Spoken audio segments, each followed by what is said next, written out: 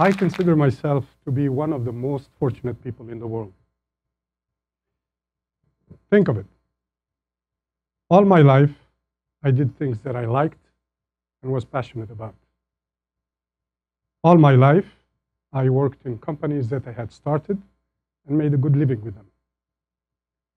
And all my life, I was fortunate enough that my ideas were recognized and used by millions of people.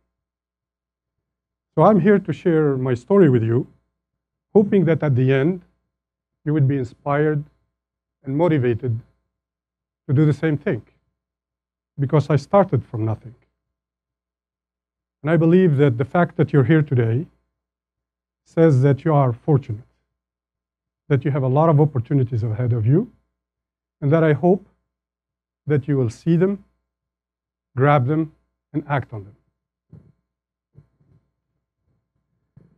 One thing that I love in life is arts, especially calligraphy. And what you see here is a greetings card in Arabic. The other thing that I like in life is technology. I'm always curious about how things are done. But my history with calligraphy is when I was a kid. Most of the time, I lived away from my family, so I had to send greetings cards. And these cards, I used to draw them with my hands and send them by email.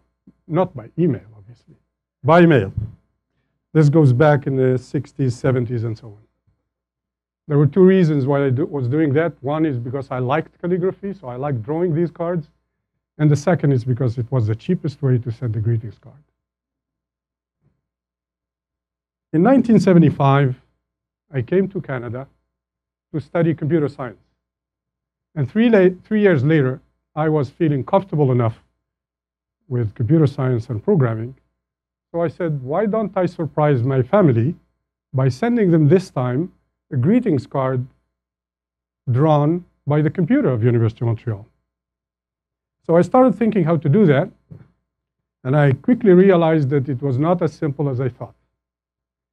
The word or the sentence, greetings or happy, happy holidays, in Arabic was Eid Sa'id, and it contained two same letters, two letters that were written differently depending on their position in the word. So I looked at this Arabic language that I studied back home in Algeria, which I saw all my life. I started realizing that Arabic letters, there are 28, were written differently depending on their position in the word or in the sentence. I said, what a complex language. How can I program this? But the good news is that in all this nonsense and complexity of uh, letters changing shapes based on their position, there was some logic. And I love logic. So I quickly developed an algorithm that would select automatically the shape of each letter depending on its position in the word or in the sentence. I program it, and quickly after, the computer of University of Montreal was writing my greeting card to my family. I folded it, put it in an envelope, and sent it back home. And to my disappointment, they didn't understand a thing. But for me, I learned something. I learned that languages are written differently. If there is logic, there's a solution. And so from there, I wanted to share with you some of my business adventures. I used that algorithm to build my first company. First of all, that idea turned out to be unique. For me, it was basic. And it was patentable, which we patented later on. In my first company called Alis, we built products that were usable in English and Arabic and other languages. We sold them in the Middle East and through other partners in Europe and in the US. And things were going well. And one day, we got a call from Microsoft. We're a small group in Ville Saint Laurent. You get a call from Microsoft. They're interested in your technology. They want to license it. Everybody was excited. After this hard negotiation, we made a deal and we were both happy. They were happy because they got the best terms for their company, but I was happy too because they didn't know that what interested me most was not the money and the terms and the conditions, but to see Microsoft adopt an idea that I had at the University of Montreal, implement it in its products, and have millions of people use it after. So that was the first project. The second one after that, I said, and for me, once that's done, I said, I, I was done with the project. That, that, that's it. For me, after that, it was distributors uh, increasing the volume of sales, and uh, it was of no interest to me. So I already had my next idea, and I wanted the bigger challenge. I wanted to be able to develop a technology that was to be used and bought in the Western world. Because I felt that the first one was a combination of two things that I knew. One of them was Arabic and the other one was technology. So how about going and competing with the rest of the world, the innov innovators, on, on an even field, which is just pure technology. So I looked at what, what was available then, and at that time, uh, Microsoft just introduced Windows. Unix was very popular with uh, big carriers. And so I built, and, and, and we started having these services where you do online banking by phone. So I built the first product that combined the user-friendliness of Windows with the robustness of Unix to provide a product that's easy to use, easy to create applications, easy to manage the applications, but robust and reliable enough to run telco-grade services. Telco grades, telcos are carriers like Bell Canada, AT&T, Verizon, and so on. This product was later on sold and used by the biggest telephone carriers in the world, AT&T, Bell Canada, France Telecom, and the others. And that was, for me, the biggest satisfaction. Later on, we had a company like um, Intel, the microprocessor manufacturer, who came and invested in our company. We got the front page on um, business page of uh, the Gazette at that time. And sometime after, we grew the company and then sold it to Bell Canada. And again, the minute the technology was proven, was endorsed and adopted, for me, the mission is over. I think about something else. So already in that company, I was thinking about the next thing. And the next thing for me was the telephone in business, the way it is today, is stupid. You call people on weekends, it rings. Um, there are a lot of things that I didn't like where I saw room for improvement or room for change. But then when I told this story to a friend of mine who's a, a business teacher at HEC, he knows my personal story. And so he told me, actually, your first company is not the one where you did the language stuff, the multilingual processing company. In fact, I told him that when I was, I was young, I did something else. This is where it all started. What you see here is a farm. It's in Algeria. But I have to be honest with you. This is not Algiers, the beautiful Algiers. This is not a big regional city on the Mediterranean Sea. It's not even a village. It's outside the village. No water, no electricity, and obviously no phones. In fact, this is the best place to innovate. This is the best place where you get the greatest ideas. There's nothing. So it's boring, except the brain that was boiling under the sun and thinking about what to do. And what to do, I did. So I said, why don't I make my own toys?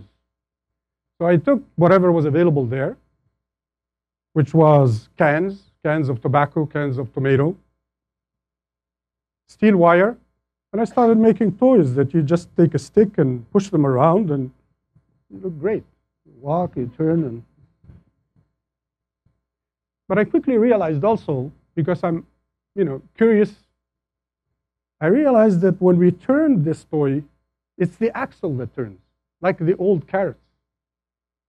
But when I look at the tractor of my ankle, the wheels turn parallel, like all the cars we have today. So why is my toy not turning the wheels the way tractors turn the wheels?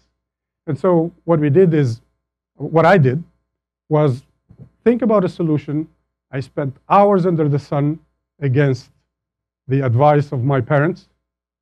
And at the end, I got something that actually turned with the wheels, the cans, turning in parallel. So I went to, I went to my cousins and the kids in, in the farm and showed off. I said, look, look what I have. It turns like the tractor. So everybody was impressed. So the point in this story is, and what you want to take away, I want to give you some tips here, is question things. When you see a lot of people accept the way things are, you can. But if you question them, it's a good exercise, at least intellectual exercise. I built this, the company of today, Speech Mobility, to go and address some of the issues that I look at. To look and imagine and think about can communications be intelligent? Can the phone know where you are and if you want to take a call or not? Yes, we can. This is Obama's. Uh, can your name be your ID? We don't need your phone number. If I want to say call John, it calls John. That's it. If I want to send a fax to John, send a fax to John. Or and then, why not work from anywhere? So when you have when you innovate, you have an issue because you're different and you find obstacles. So one of the obstacles is banks. We all thought that banks were uh, there to help you when you needed money. It's the opposite. Have confidence in yourself. Believe in yourself. Go against the odds. Go against the skeptics and do what you feel like. Dream and make your dreams reality. That should be the main and only motivation to go and build your project. The minute you think that this is an idea to make money, you're lost. You're, you're not going to make money.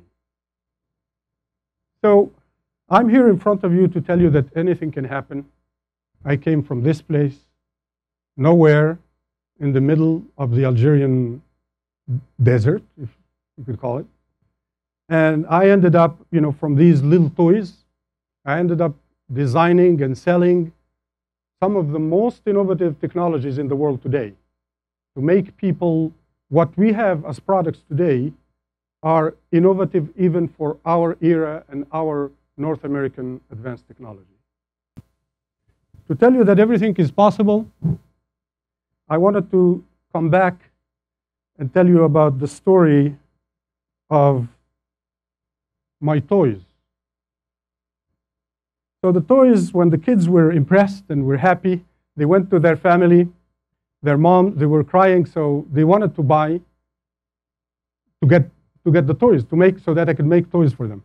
So what I did is I said, okay, can you go and get me something in exchange because I have labor, I have material here, you know, you have to do all of these things.